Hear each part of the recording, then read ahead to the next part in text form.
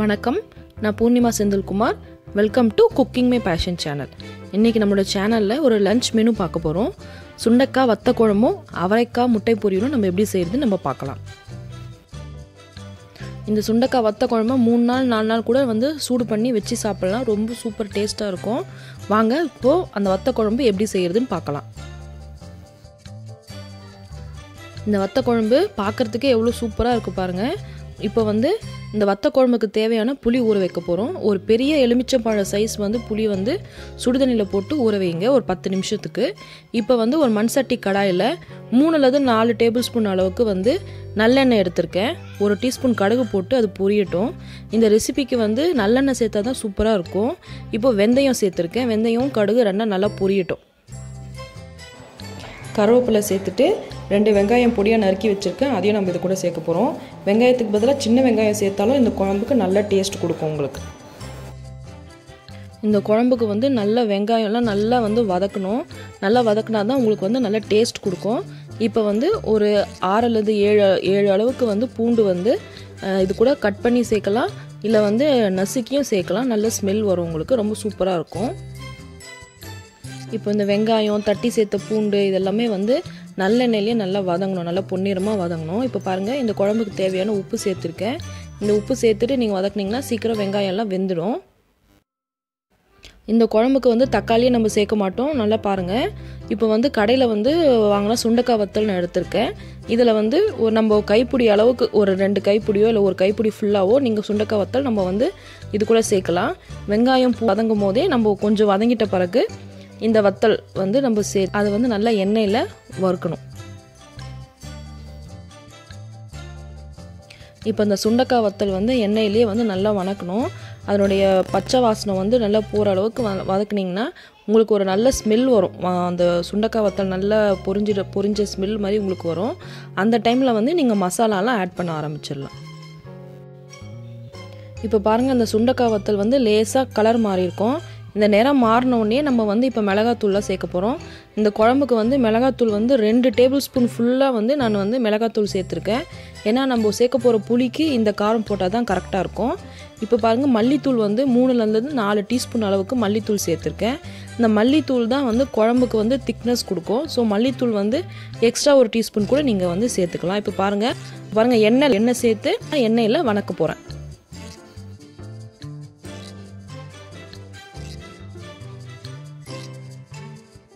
மறுபடியும் நல்லெண்ணெய் நல்லெண்ணெய் சேர்த்து அந்த மசாலாலாம் அந்த எண்ணெயிலேயே கொஞ்சம் வந்து நல்லா வந்து வேகணும். அப்போ தான் வந்து இந்த குழம்புக்கு வந்து கலர் கொடுக்குறதே வந்து இந்த மசாலா வந்து எண்ணெயில் வதக்கிற ஸ்டேஜ் தான் வந்து உங்களுக்கு குழ குழம்புக்கு வந்து ஒரு சூப்பர் கலர் கொடுக்கும். அதே சமயம் இந்த மிளகாத்தூள்லாம் வந்து கரிஞ்சிடாமல் பார்த்துக்கோங்க. கரிஞ்சிடுச்சுன்னா குழம்போட டேஸ்ட்டே சுத்தமாக போயிடும் கெடுத்துரும். இப்போ வந்து இந்த மசாலா நல்லா வறுப்பட்டோன்னா கலர் சேஞ்ச் ஆகிருக்கு பாருங்கள் இப்போ வந்து நம்ம என்ன பண்ண போகிறோம் புளி தண்ணி ஊற்ற போகிறோம் புளி தண்ணி சேர்த்துட்டு நல்லா கலந்து விட்டுடுங்க. கலந்து விட்டுட்டு காரம் உப்பெல்லாம் பார்த்துங்க தேவைப்பட்டால் தண்ணி இன்னும் கொஞ்சம் சேர்த்துக்கலாம். நம்மளுக்கு வந்து காரம் தேவைன்னா நீங்கள் வந்து குழம்பு கொதிக்கிறதுக்கு முன்னாடியே இந்த ஸ்டேஜ்லேயே நீங்கள் வந்து காரம் சேர்க்கணும். ஏன்னா குழம்பு கொதிச்சிட்ட பிறகு நீங்கள் வந்து காரம் சேர்த்திங்கன்னா குழம்போட டேஸ்ட்டே வந்து உங்களுக்கு வந்து கெடுத்துரும். இப்போ பாருங்கள் நல்லா கலந்து விட்டுடுங்க. டேஸ்ட் பண்ணி பார்த்தா எனக்கு கொஞ்சம் லைட்டாக புளிப்பு தன்மை வந்து கொஞ்சம் அதிகமாக இருக்க மாதிரி இருந்தது. அதனால் நான் வந்து ஒரு அரை கிளாஸ் அளவுக்கு தண்ணி சேர்த்துட்டேன். தண்ணி சேர்த்துட்டு கொஞ்சோண்டு மிளகாத்தூளும் நான் எக்ஸ்ட்ராவாக சேர்த்துருக்கேன். இப்போ குழம்பு வைக்கவும் தேவையான உப்பு வந்து நம்ம முன்னாடி ஆட் பண்ணியிருந்தோம். இப்போ எனக்கு கொஞ்சம் கம்மியாக இருந்த மாதிரி இருந்தனால கொஞ்சம் உப்பும் சேர்த்துருக்கேன். அரை கிளாஸ் தான் தண்ணி விட்டேன். தண்ணி விட்டுட்டு இந்த குழம்பு வந்து நல்லா கிளறி விட்டு நல்லா கொதிக்க விட்டுடுங்க. இந்த குழம்ப வந்து நல்லா கொதிக்க விடணும். கொதிக்க விட்டுட்டு காரம் உப்பு எல்லாமே செக் பண்ணிவிட்டு நமக்கு நல்லா கொதிக்க விடணும். ஆல்ரெடி சுண்டைக்காய் வந்து எண்ணெயில் நம்ம நல்லா வறுத்துட்டனால இப்போ குழம்புல கொதிச்சிச்சுன்னா உங்களுக்கு வந்து அந்த இது கரெக்டாக டேஸ்ட்டு வந்து கரெக்டாக இருக்கும். இப்போ பாருங்கள் இது குழம்பு நல்லா கொதிச்சிருச்சு.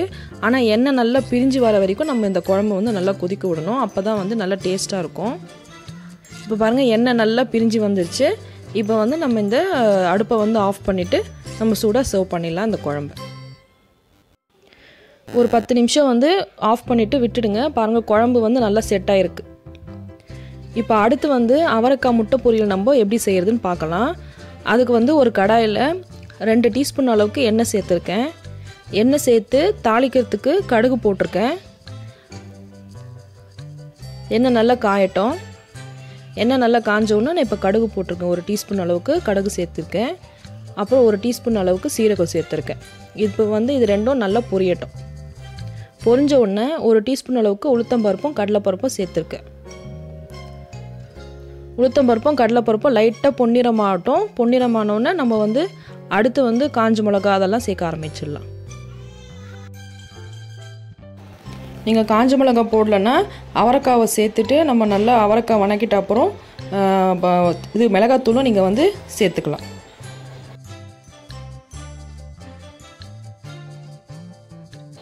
இப்போ வெங்காயம்லாம் நல்லா வணங்கிடுச்சு. வெங்காயம் வதங்கினோடனே நம்ம இது கூடவே வந்து கருவேப்பிலை சேர்க்க போகிறோம் கருவேப்பிலை சேர்த்து நல்லா வணக்கிட்டு அவரைக்காய் வந்து ஒரு அரை கிலோ அளவுக்கு அவரைக்காய் வந்து நல்லா பொடி பொடியாக நீட் நீட்டாக கட் பண்ணி வச்சுருக்கேன்.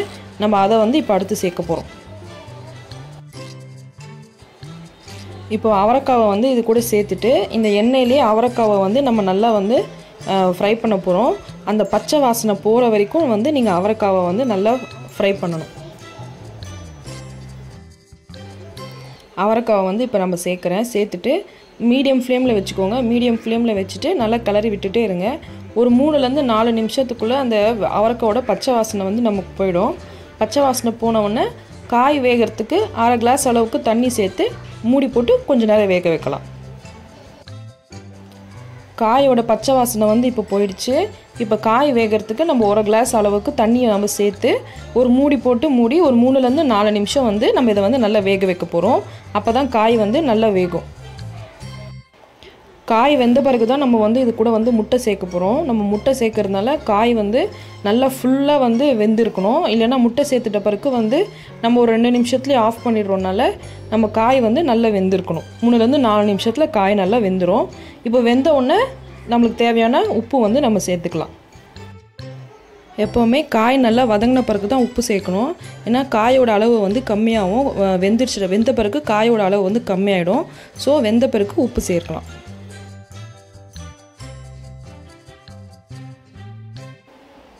இப்போ பாருங்கள் காய் நல்லா ஃபுல்லாக வெந்துருச்சு.